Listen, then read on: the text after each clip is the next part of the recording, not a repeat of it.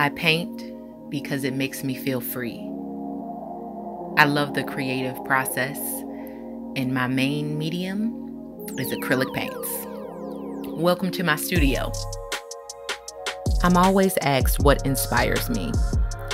I think a better question would be what doesn't inspire me?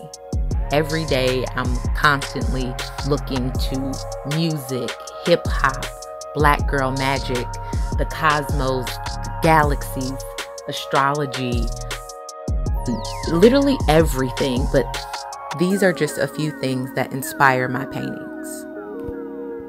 I look forward for you to learning more about my work. I love Rick and Morty, hiking with my husband, kale chips, and dancing. You'll see frequent twerk team dance breaks throughout my videos because deep down, I'm an undercover rapper. Welcome to the family.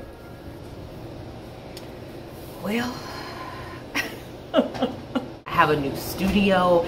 It is probably like a solid double the size. It might even be more than double the size of my previous studio. This has been my biggest studio ever in my six year painting career. Um, so I'm just super excited. I'm excited to bring y'all along on the journey. I don't know what this is gonna look like, but I know what I do want it to look like is creativity, artistry, mastery. I'm I'm here for it. Like let's get it and let's go hard. Um, let's let's make history. So that's the goal this year. Um, but first it starts with me getting this damn studio together. Old paint.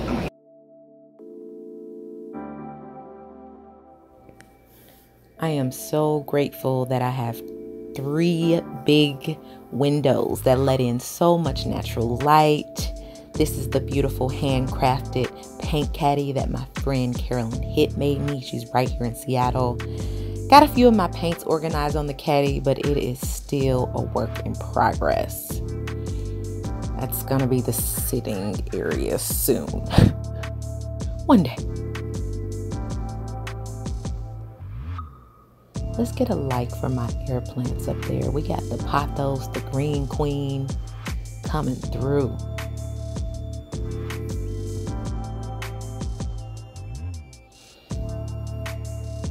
So we got some storage started. That's where all of my smaller pieces are gonna be.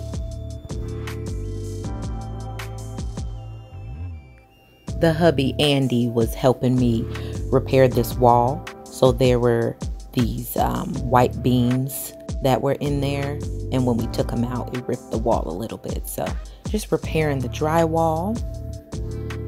I was one of the teaching artists for Seattle Art Museum during the Jeffrey Gibson exhibition. Absolutely amazing show. Um, I was super inspired by his use of fabric and music, since music is one of my huge inspirations. One of the projects that I um, encouraged the participants to do was to write their favorite music lyrics on these pieces of fabric.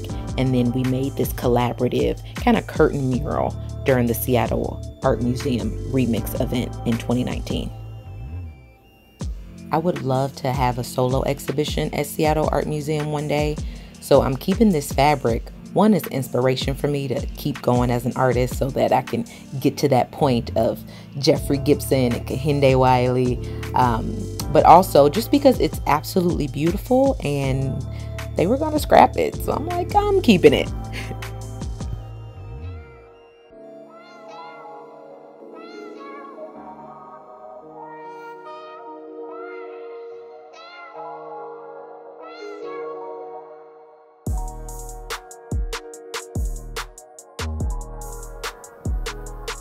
I love using every single color of the rainbow in my paintings.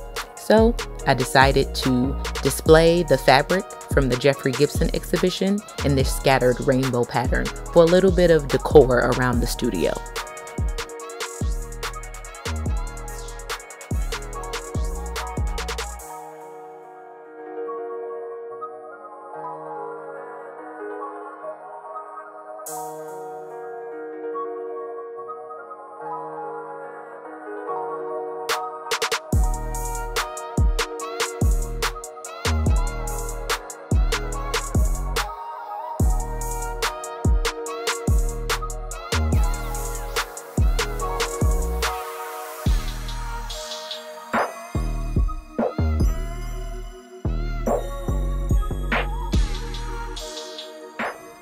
I'm going for a little bit of a boho chic hip hop vibe.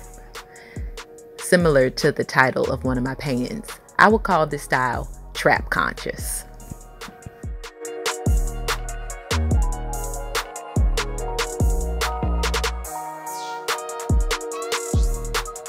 Hey, get it, best friend.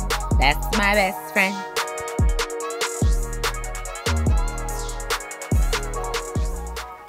I paint pretty large, so instead of using an easel, I actually staple the unstretched canvas to the wall and then I go from there. Um, that was another reason why I needed to remove those white beams in my new studio. So right here, I'm just sanding the wall from the drywall that we patched up and getting it ready so that we can have some 10 foot paintings. 10 foot? 10 feet? Y'all know what I mean.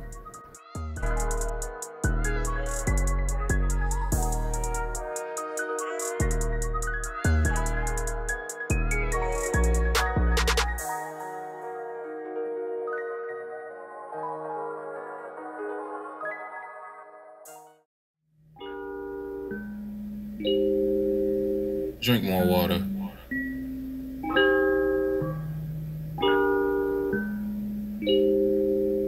Or you might die.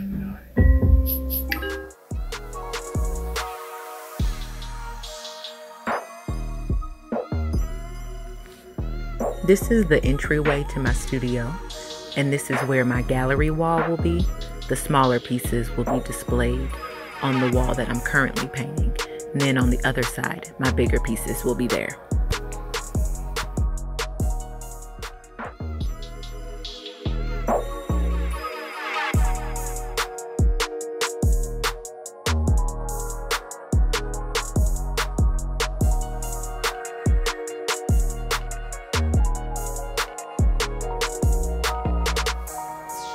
Now that the wall is all patched up, that was too high. Okay.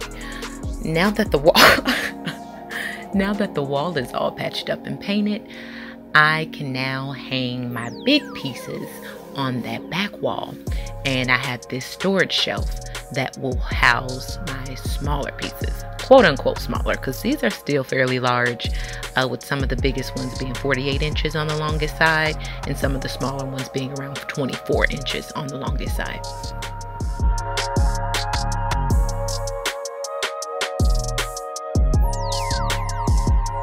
2020 is the year to make it happen. All right, y'all. It's time for me to clean. But yeah, welcome to my channel. This is what we're going to be doing. Hey, let's do it. Let's get it. I'm here. I'm here.